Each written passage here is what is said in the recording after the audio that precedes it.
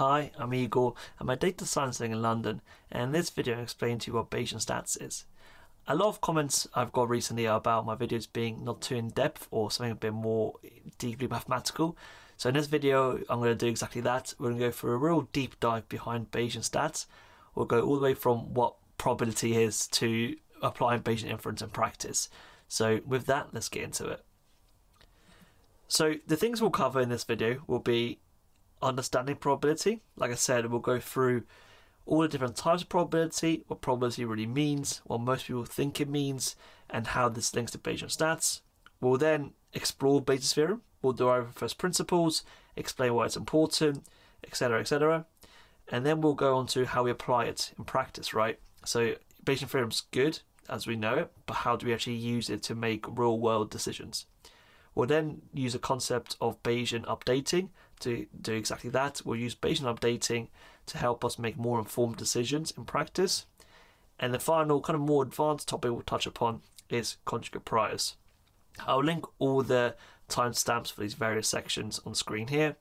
Um, there's also blogs in the description that links all these ideas we'll cover in this video so that if you want to get more of an in-depth understanding or just to supplement your learning a bit more, then make sure to check out those blogs that I've linked below. This whole slideshow as well and this whole deck will be available in the description as well. So if you're worried, you know, about you know not really understanding it too well, then you can feel free to check that out. Uh, there's a lot of material that be covered in this, so if you want to know more, highly recommend you check out the description to get that more the more supplementary material that you're after. So with that, let's kind of go into why I'm making this video. So Bayes' theorem probability is something that's just well known within maths. It's decade, not decades old, it's centuries old, right? Kind of 1600s, 1700s. That's where Bayesian inference really started. And within data science, we use the word Bayesian quite a lot. And I feel like it gets lost in translation because, you know, it's one of these things that seems really cool, like, oh, I'm doing Bayesian learning. Um, but reality is, I think a lot of people don't really know what it means. And that's kind of a problem because it's kind of like I said, you use a lot, but quite erroneously. And the problem with that is that you get you may meet someone who really knows what it means, and then you'd be like, oh, you know, kind of stumped because they kind of really don't understand what you're saying, but you know what Bayesian. And so, in this video, I really want to go into what Bayesian means and where it's actually come from, and how you know when people say we use Bayesian learning, what they really mean, like meaning behind that, because it's quite an important concept to really grasp as a whole within data, as if you're a data scientist. So let's first begin with just discussing what probability really is. So the first thing, when most people refer to probability, they actually refer to something called as marginal probability. And this is where, you know, is it just a probability of an event occurring? So a common example is, what's a probability of flipping a head? And in this case, it's simply 50%, assuming we have an unbiased coin. So the marginal probability is just like I said, the regular layman view of probability. What is probability of something something happening, an event on its own? That's what marginal probability is. Now we can extend that view in something called joint probability. And joint probability, this is where we take the probability of flipping two heads together. So what's the probability, you know, flipping one head, then flipping another head after? Well, in this scenario, there's four different outcomes. There's equal flip at two heads, equal flip a head and a tails, tails or heads, or two tails. And because the probability of flipping two heads is, you know, one out of those four total outcomes of the state space, the probability of flipping two heads is then 25%. Or another way of doing it is the probability of flipping a head is 50%, the probability of flipping another coin is also 50%, so therefore 0.5 times 0.5 is 25%. And so joint probability is just a probability of two events happening um, together or in succession or I should say together, not succession. That's a bit different, um, and that will also all there is to it. And if like then an important concept as well behind joint probabilities is the idea of let me say this word correctly, cumulativity. Cumulativity.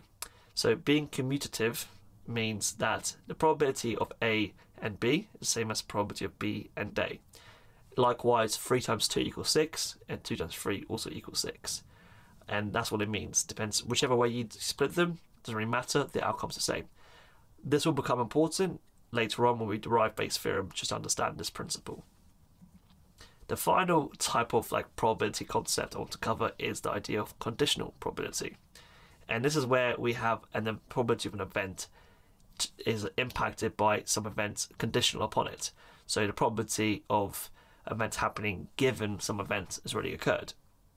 A common example is the probability of picking the three of diamonds from a deck of hands given we already have a red card, right?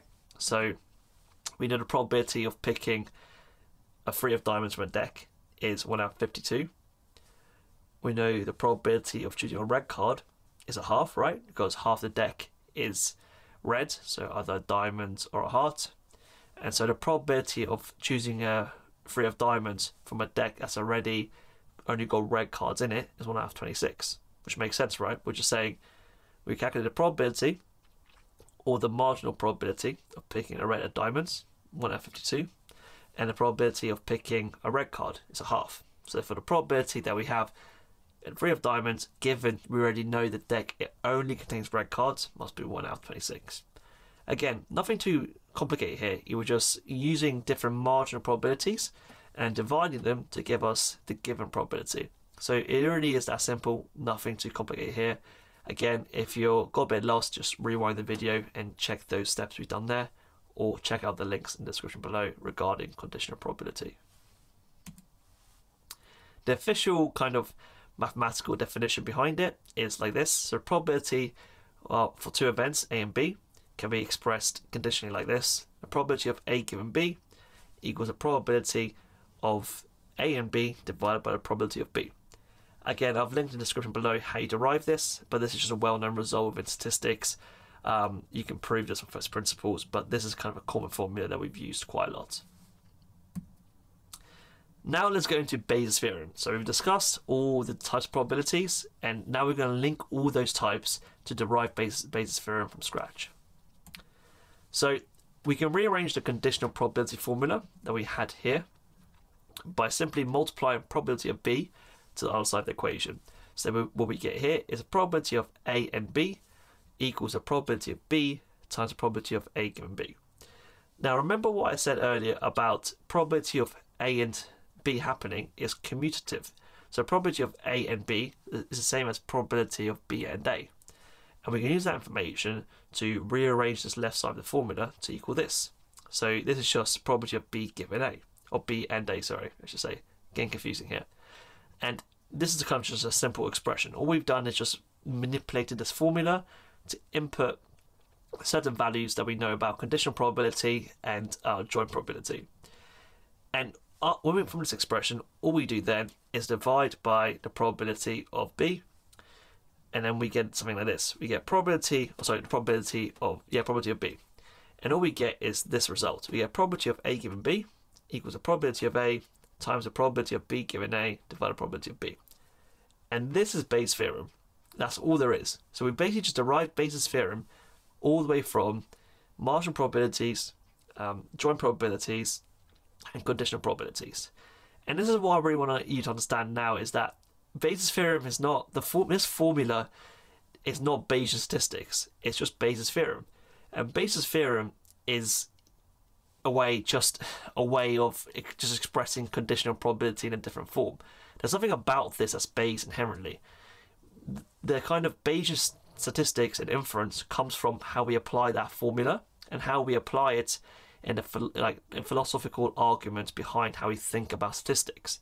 But on its own, Bayesian stats or the Bayes' theorem, sorry, is completely correct. There's nothing you know controversial about it. It's just rearranging known formulae into a certain format. It's how we apply this formula in practice is where Bayesian stats and frequentist stats become different.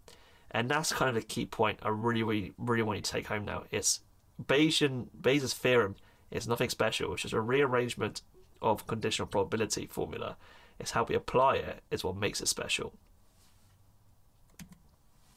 So Bayes' theorem is composed of four parts. The probability of A is something known as a prior. And a prior is basically an example it's an example where you would have some knowledge about uh, an event happening you may know before. So, you know, I may know that when Liverpool play, say, Luton, Liverpool are the more likely team to win, right? That's a basic example. I have some prior knowledge about the event that's going to happen. And this is just the marginal probability of this event happening, right? It's just some prior knowledge um, that I know about this event. The probability of B is the probability of observing the data or event on its own. This kind of causes the biggest problems with Bayesian stats.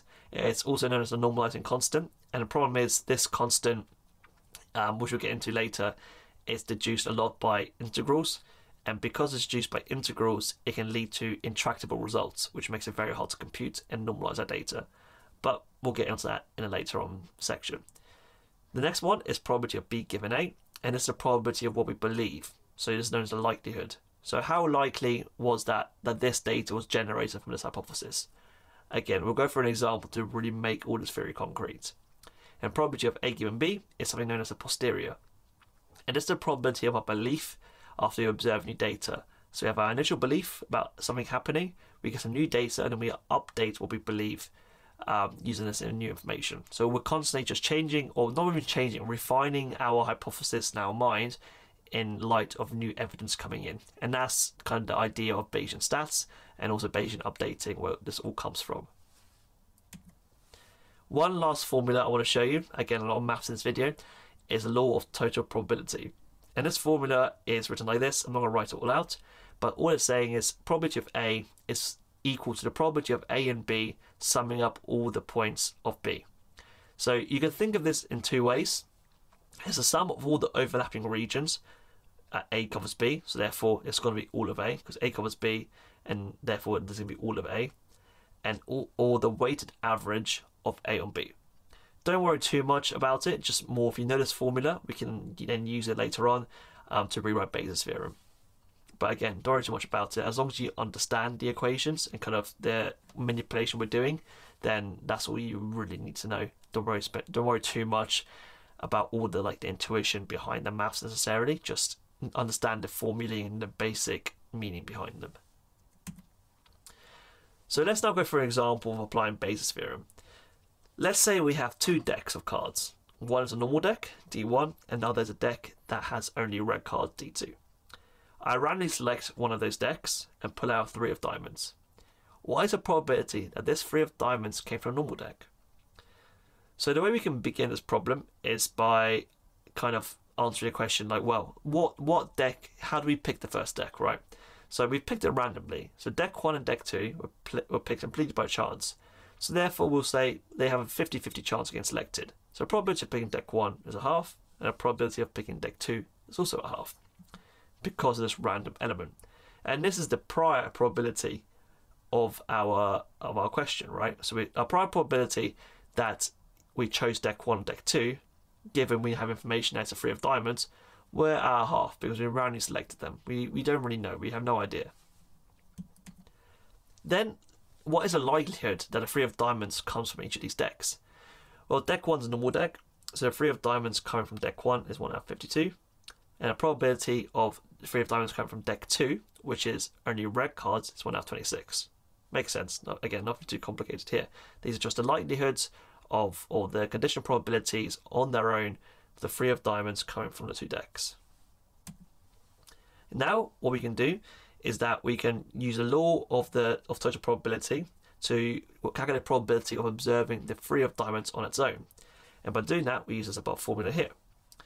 And as you can see here, all it's going to be is that it's going to be the probability of deck 1 times by the likelihood of 3 of diamonds happen, getting from deck 1 plus the probability of deck 2 being selected multiplied by the probability of the 3 of diamonds coming from deck 2. It's a typo, there should be a 2 here. And by plugging in those values, you know, deck 1 and deck 2, with the probability of choosing them is just a half. And uh, then the likelihoods we just deduced in this previous section we can add those into these two sections here. And by multiplying them together and summing them up we get 3 over 104 which if you think about it makes intuitive sense right? Because 1 out of 52 is the you know getting it from deck 1 1 out of 26 is getting from deck 2 now 1 out of 26 is the same as 2 out of 54 so adding them together we get 3 over 104 makes sense right? We get 3 of diamonds from those two cases conceptually, that makes sense to me, may not to you, but don't worry too much about that. this formula is all you got to do to apply Bayes, Bayesian stats from first principles, or Bayes' theorem from first principles, I should say. And all we do is that we combine all this information together, and what we find is that the probability of deck one generating a three of diamonds is a third. Now, if you think about it, that makes sense, right? Because we have one deck, which is 1 out of 52, one deck that's 1 out of 26. Now, 1 out of 26 is double 152. So therefore, we're doubly as likely to get the three of diamonds from deck 2 as opposed to deck 1. And since it's doubly as likely, and probabilities have to sum up to 1, then we know that deck 1 must be 33% and deck 2 must be double that, which is 66%. 66% times 33% is 100%. And so, without using Bayes' theorem, we can intuitively show this result. All we've done here is on my first principles thinking and using pure equations to get there. For most cases, you can't just be that intuitive because we're going to have loads of different decks, as you can imagine, and trying to do in your head would be too difficult. But in this case, our intuition matches the result, mathematical result, which is really good because the theory aligns with basically the empirical values or the empirical equations we've derived, which is a good thing. And so this is just Bayesian um, Bayes theorem in action. It's nothing too special. All we've done is just thought about the probability of events happening in a different way, but it's really, really powerful when you get into more deeper problems. So we'll now go through over Bayesian updating. And Bayesian updating is where we get the real kind of, you know, real use case of, of Bayesian statistics.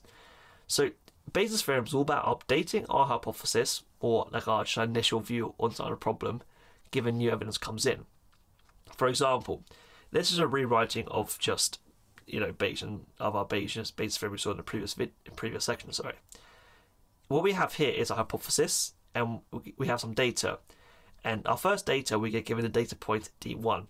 So in this case, Bayes' theorem looks like this. It's a probability of our hypothesis given this new data point equals the probability of the hypothesis, the prior, so our initial view whether this hypothesis was true or not, times the probability of the data point given the hypothesis, all divided by the probability of that data just happening in general. Again, normalizing constant. Don't worry too much about it. Let's say now we get another data point D2 from our dataset. So we have more evidence to evaluate or update our belief or the posterior on.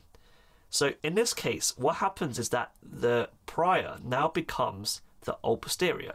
So you see here, we have our old prior was probability H, but then with a new data point, D2, we then set our posterior to be our new prior, which is probability of H given D1. And this is Bayesian updating. We have an initial belief, we get new evidence, we update that. Then this new probability that we believe this hypothesis is then becomes the new prior when we get new data. And actually that cycle is Bayesian updating. And that's the kind of the idea where we like I said, we start off initial view about something, and the more data we get in, the more we refine how likely that, that hypothesis is or other hypotheses are about a problem. And that's how we apply Bayesian updating in practice in most real world problems. Now, the way you generally express this is using this kind of expression, where the posterior is directly proportional to the likelihood times prior. The reason we do Bayesian updating often like this is because the denominator, the probability of the data just happening, is normally intractable and often not needed. So by intractable is that it basically becomes a really complicated integral, which I'll cover later on and it becomes very very hard to solve. I've linked like a really good thread here that goes over kind of explaining why that's the case, but at the moment just take my word for it. And the second point is that for most of the cases we're not really after like concrete probabilities in a lot of cases. We may just be after you know what is the most likely outcome. And so in that case, normalizing constant doesn't really do much. We just take the value of the highest posterior, that's the most likely hypothesis for that problem. Again, we'll go through an example in a second, but those are the two reasons why we normally express our Bayesian updating steps in this kind of format. So, like I said, let's go through a really concrete example to really drive home a lot of this theory. Let's say we have three dice of different number ranges. Dice 1, 1 to 4, dice 2, 1 to 6, and dice 3, 1 to 8. We randomly select one of those dice, and we do three subsequent rolls with that dice. Using these three rolls, after each roll, we can update our you know uh, you know our hypotheses about which dice is most likely, and now become a new posterior, and then we replicate that process for each roll. Now let's go through this step by step. Let's say in the first roll, so we've picked up this random dice and we've rolled it, and we rolled a 4. What is the probability that we selected dice 1, 2, or 3? Well, the priors for both dice, so probability of picking dice 1, dice 2, dice 3, at the beginning is equally likely. We randomly select it. So therefore, the probability of dice 1, 2, or 3 is 33%. Yeah? Which makes sense. Now we get into computing the likelihood. So the likelihood is the probability of rolling dice, probability of rolling a 4 for dice 1. Now dice 4, remember, or dice 1, sorry, has numbers 1 to 4, and each of those are equally as likely to be rolled. So therefore, the probability of rolling a 4 for dice 1 is 25%. Likewise, using a similar, you know, kind of intuition for dice 2, is numbers between 1 to 6. So all we got to do is basically, you know, it's 16.7% because they're all equally as likely. And then dice 3, 1 to 8, equally as likely, 12.5%. Then we can apply, you know, uh, Bayes' theorem in this following format, where the denominator in this case, like I said, is the law of total probability. So the denominator is 18%, and this value is derived from simply summing up all these numerators for the multiple hypotheses. So if we sum up 33 times 25, 33 times 16.7, 33 times 12.5, that value will give you 18%. And that's so it's just a sum of the of the likelihood and prior products together. That's what this denominator comes from. And by doing this calculation, we see here that dice 1 is most likely outcome. Dice 1 is 46%. So, in other words, the most likely dice we have so far, given the current information and current priors, is 46%. Or dice is, is dice 1 with 46%. Which makes sense, right? Because it has the smallest range, so therefore, rolling a 4 means it's most likely going to be that die. And you see here, they drop off as um, the range of the dice increases again, go through this slowly if you're a bit stuck because it's not too complicated. It's just really working through the maths in your own time. You really grasp the keen or the, the key intuition behind it. So let's say now we have the same dice, we're, we're all second time. In the second roll, we get a 2. However, we, have we now have a new prior. So our new priors are now the information we got from the previous roll. So now before we rolled a, a 4. So the prior is now probability of dice roll roll 4. And you see here the prior numbers are no longer equal, they've changed. Because the priors are now what we did in the previous run, right? So you see here the prior for dice 1 is now 46%. Dice 3, you see here, will be 31%. And for dice, so dice 2 will be 31%, and dice 3 will be 23%. And this is the this is basically updating an action, right? We're just using our updated posteriors as our new priors when we get new data. And so in this case, when we roll a 2, we see here that dice 1 becomes even more likely to be the dice that we picked up so far because it's 59%. And this is, like I said, up in action. You see here the prior is no longer just a prior of dice 1. It's a prior of dice 1 given we've rolled a 4 already. And this is where the priors become no longer, you know, equal. They become different because we've used historical information to improve our decision making. And like I said, this is Bayesian updating an action, using more and more data to reinforce our hypotheses and make and decipher which one's the most likely. Likewise, the denominator here, we've done the same process. We've basically summed up all the products of these numerators to get 91, 19.6%. Again, if you're a bit confused here, I've, the, these formulas are really kind of exhaustive, so make sure if you, if you just read them, you probably understand what's going on. It's not too complicated. Just really take your time to di- digest what's going on here. Because, uh, like I said, it's the maths is not overly difficult. It's more just the intuition behind the steps we're taking can be a bit tricky to follow. But again, just doing your own time. There's also blogs in the description below to really follow this in, in, a, in a good way. Now, let's say in our third roll with the same dice, we get a 5. Now, for dice 1, we can't roll a 5 because it ranges from 1 to 4. So therefore, the probability that we have dice 1 is now 0, right? You see here, the probability of the likelihood of rolling a 5 for dice 1 is 0. So the probability that we have it is completely 0 now. And this is the, the idea of, you know, Bayesian updating. We were very, very likely that was dice 1, you know, more so than the others. But suddenly we rolled, we have some evidence which showed that it can't be dice 1, so therefore it's completely 0. And in this case, we see dice 2 becomes more, more likely and is most likely outcome. And the priors for these dices are now the one the previous rolls. So the prior for dice 2 is now the probability of dice 2 given we've rolled a 4 and a 2, which is what we did in the previous scenario. And its prior is 26%, which is what it was in the previous roll. We can, or the previous posterior of the roll. And we, we just follow the same pattern again and again. And this is just, like I said, Bayesian updating, updating our hypotheses with new information that we've gained. And in this case, dice 2 is the most likely outcome, and this is known as maximum a posteriori, uh, or MAP. Again, I can't speak Latin very well.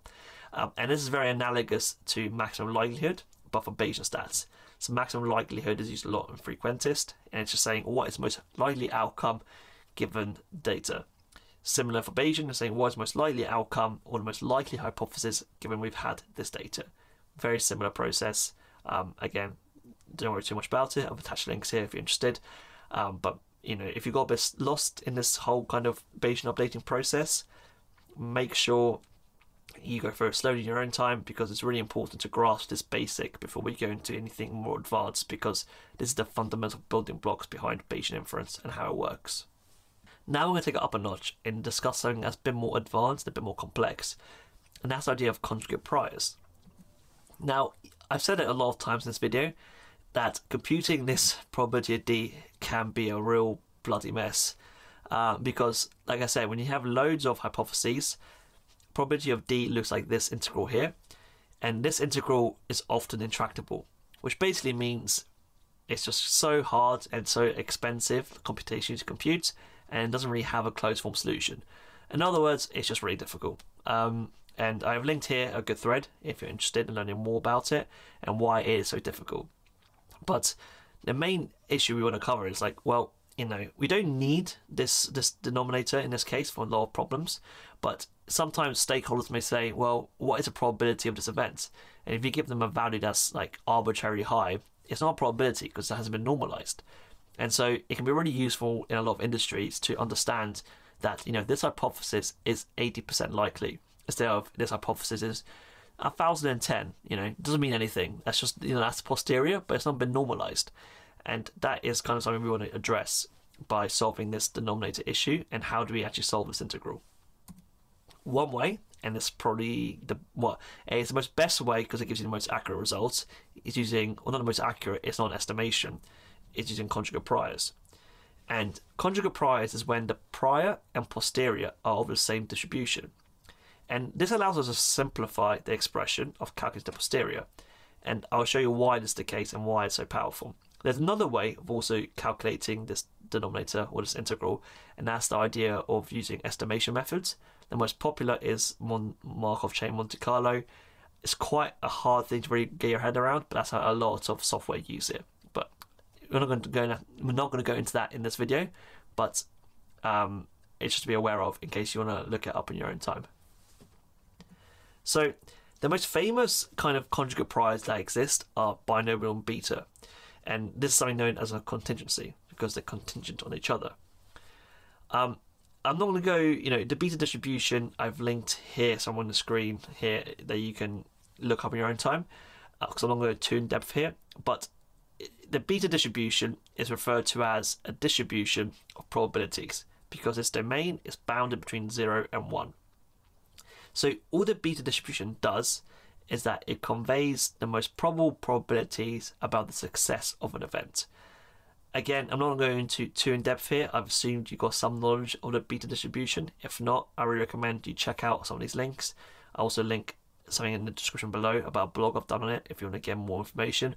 It's not too complicated, but it's well worth knowing quite in depth before this because it really builds the intuition behind why this um, conjugate prior works really well for the binomial and beta. Now, the beta distribution can be written in this following format. Again, don't worry too much about it. And this b value is known as the beta function. Alpha is, for example, the number of successes. So, say you flip a coin um, 10 times and you get 7 heads, where head is a, is a success. Alpha in that case is 7, and beta will be 3. So, you know, this, this kind of b value is a, is a value of successes and failures as part of beta distribution and then that kind of will dictate what's most probable uh, pro- probable probability for success. In that example would be like 70% because 7 out of 10 were heads, so therefore the most likely um, probability of success is 70. In reality, that's not the case. We know that because we're Bayesians, we're not using frequentist methods, but that's a really simple example um, if you want to think about it that way.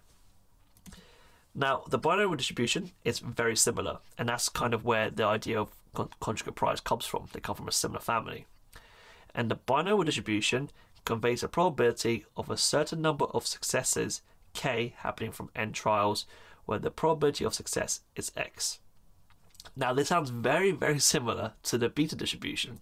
And in fact, the key difference between the binomial and beta is that for the beta distribution, the probability x is a random variable, but for the binomial distribution, the probability x is a fixed parameter.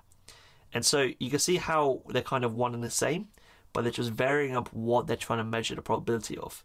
And that's the idea of contingencies, where they're very similar but kind of different, and so they're being used in different parts of Bayes' theorem. So, like I said, let's relate that information to Bayes' theorem. So let's say we want to we we will start with rewriting Bayes' theorem using the probability of success x for an event and the data k. So x is our hypothesis. We want to know, you know, uh, what is our hypothesis of this event or the what's probability of this event being a success. That's the hypothesis we want to measure, and that value can be between anywhere between zero and one. So it's kind of continuous in a sense. And the data we're going to use to update our hypothesis is k. So we want to use the data to work out what is the probability of success of this event. And that is kind of you know framing of this problem. So we can rewrite it the following. All I've done here is just substitute the values in. And we can also expand this denominator to be the integral, the law of total probability that we've seen before. So our posterior is basically the probability distribution over all the possible probabilities of the success rate. So 0 to 1. In other words, the posterior is a beta distribution. Very simple. Yeah, that's this is what we've done here. It's just rewriting and reframing the problem using this contingency. Now, what we do here, I know it's escalated quite quickly, is that we sub in the binomial and the beta uh, distribution, uh, their, their, their probability density functions, into that formula. And this is what we get. Again, don't worry too much about this. It's just really working in in deep mathematics, but you don't spend too much time really thinking about this. It's just it's just a basic substitution of these values into here. Now we can simplify this. As you can see, this value here can like kind of jump out, right? This x minus alpha, one minus beta. These can all kind of be, you know, um, simplified, and we can also bring out this these constants that we don't need and then we have left with this thing here. Now, some of you, don't know who, to be honest, may find something special about the integral in the denominator here, that kind of 1 to 0. Um, it is actually the definition of the beta function. If you knew that, wow, I'm amazed. I mean, you know, I don't know how people discovered that, but if you're aware of this integral being a beta function, fair play to you. You're much smarter than I am. Um, but like I said, this is a very like a well known, not say well known, it's a known result that this equals this falling formula where beta. So k, like I said, is number of successes, and alpha is like our new evidence. Likewise, this is going to be our failure rate in this case, beta. Um, uh, beta. And we can update it or our final form to look like this. Now, the question is why? What have I done all this complicated maths to rewrite an equation for for what for for you know for God knows reason. So the beautiful like the beauty behind this result is that is that to do Bayesian updating, we no longer need to compute the product of the likelihood and prior. Do you remember going back to that old example where we were multiplying the numerators, or we were you know, multiplying, we were summing up all those numerators and adding them together to give us our, you know, our denominator? Well, in this formula, we don't need to, right? Because you see here, it's just a function. B, this b value is just a function, it's the beta function. As long as we know the number of successes and our new data, alpha, and you know our current um, total, what's the word, trials, these are values we all know. And to do that, we don't need, no need, no longer need to, you know, sum up all these numerators. We can just simply add it to this beta function. And this is just computationally efficient, right? We're no longer wasting so many costs just adding and summing up these values. And it makes it a lot more feasible to do Bayesian inference. And we could just use simple addition. And that's where it really speeds up this whole process. And we've avoided using that integral as a whole, right? We've done no long summations. We've just done a very, very simple kind of, you know, um, manipulation of the PDFs of the binomial and beta distribution. And then that's given us this really neat result here and to me that's quite amazing. Um, again, there's another famous contingency which is the Poisson and Gamma. I've also there's a my blog below details that, but you can do a very similar process where these things just fall out of these distributions, and that makes it so amazing to work with and really simple. Right, let's now go through you know a real life example to really make all this theory and concrete and show you how it can be used in real life industries. So let's go and visit the MLB or the Major League Baseball. So the rate the batters hit a ball in, in MLB is divide, is known as the batting average, and this is something where number of balls you face divided by how many you hit, well number you hit divided by how many balls you face. So the batting average in MLB was 24.4%. So roughly every four balls a, a batter faces, they hit one of those. Let's say we have a player, a new rookie to the season, as you will. He starts the season very well and he hits his first three balls. Now, what will his batting average be? Now, if we were just frequentist, eh, we would just say, well, you know, that's all the data says is that he's hit three from three, so therefore his average must be 100%. But that doesn't sound right, right? You know, if if a player at football will, you know, score in his first game, doesn't mean he's going to score every single game it just, you know intuition will tell us that's not true. So we can use a Bayesian approach to reach a different conclusion, which is probably more sensible. So let's start with just discussing the prior and like what what do we think most batters average? So we know the average is 24.4%. And a good average from my research, I'm not a big MLB expert, is considered to be around 30%. And that's like a kind of the upper range of like a feasible average and one below 20% is considered to be quite bad. So, using that information, I can construct a prior. Now, the problem is this prior is completely subjective to me. I may say this prior is going to be, you know, this beta one is going to be, you know, it's going to be very unlikely to be below 20%, so I'm going to have a tail off there, and very unlikely to be above 30%, so I'm going to have a tail off here. And because of that, I'm then going to say, well, you know, these the values that make this distribution look sensible is alpha equals 49 and beta equals 151. And I've just attached a beta distribution to this information. But like I said, this is completely subjective to me. This is my opinion of what the prior looks like. And this is the big criticism behind Bayesian stats because it's subjective. There's no objective information here. It's just a personal belief about a problem. And experts may get to different outcomes. And I can make say, for example, the private batting average, in my opinion, is 80%. And people say I'm wrong. Well, like, well, it's my opinion. You know, I'm not wrong. It's just my opinion. And that's where Bayesian stats can have its pitfalls. But the the the more data you get about a situation, the more you adjust. So, like, I may say it's 80%, but surely with enough data, I will eventually converge to a true value, which realistically will be between 20 and 30% of batting averages. And that's kind of the outcome of Bayesian statistics. But you know, most people will probably choose quite sensible priors, like I have done here in this case. The next step is to calculate the likelihood and posterior. So the likelihood of the data is that this new player has hit three from three. So therefore they have an extra three successes and zero failures. So all we've got to do is add an extra 3 to the value of alpha in 0 to beta. So remember, that's on the beta distribution we discussed earlier. And by doing this, what we can see here is that the posterior distribution of this of this batter's um, mean, or the whole like most likely batting average he has, moves a bit to the right, which makes sense because he's he's currently hitting more than the average. So therefore, his mean will probably be higher than the average. And you see here, slowly shifted to the right. So intuitively, it all works out well. But he's not so far different, you know, from the mean so far because he's only hit three from three. He's not hundred percent, as a frequentist would say, but a bit more to the right of, of the mean that we expect because he's currently better than the mean at the current moment in time.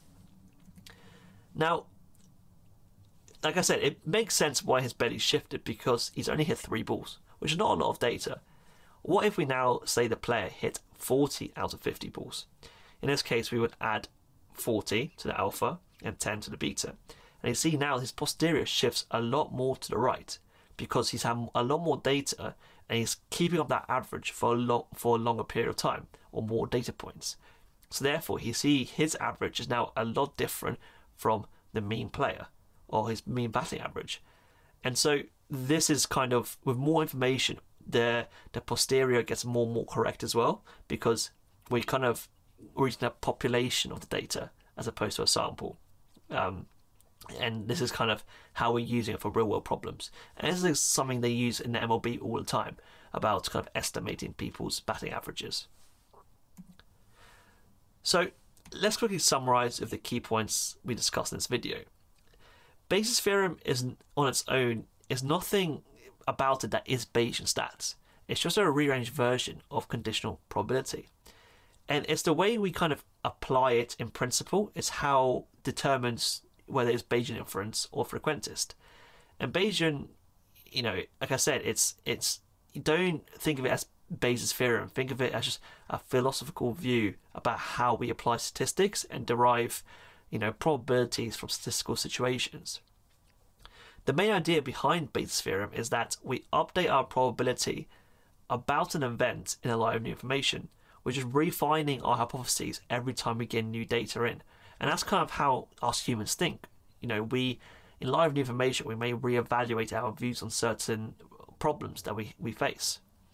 To apply Bayesian updating, all you got to do is start with initial belief, called the prior. The problem is this prior is often subjective because it's up to the individual to decide a suitable prior. And what's suitable is, you know, it's not clear. And this is a big criticism behind Bayesian stats.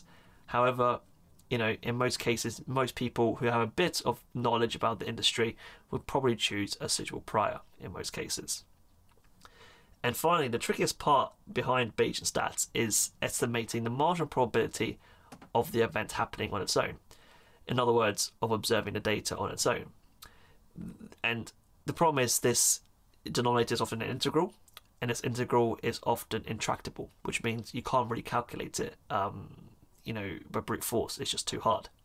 And this is where things like conjugate priors come in handy, when it allows us to simplify Bayes' theorem for certain distributions of data to remove the to remove like that barrier to calculating that denominator.